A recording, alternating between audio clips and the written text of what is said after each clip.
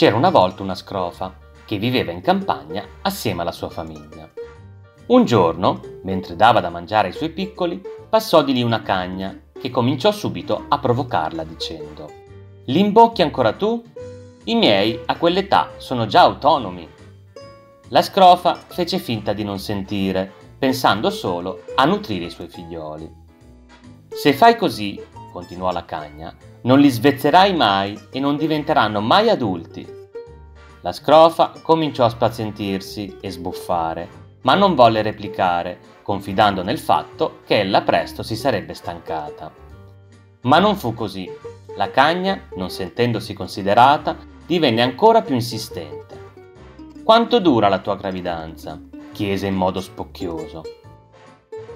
La scrofa decise allora di cambiare strategia e le rispose con la speranza che fosse l'ultima domanda. Dura esattamente 114 giorni, che corrispondono a 3 mesi, 3 settimane e 3 giorni, e per questo la nostra gravidanza è stata soprannominata 333. Allora io ti batto, replicò la cagna, e lo sapevo già, perché la mia gravidanza dura in media 62 giorni ed è la più corta tra i quadrupedi. La scrofa, ormai esausta, sentenziò. Sarà anche la più corta, ma devi ammettere che metti al mondo figli ciechi. La cagna allora se ne andò via con la coda tra le gambe e la scrofa poté così dedicarsi interamente ai suoi porcellini. Cosa vuole insegnarci Esopo con questa favola?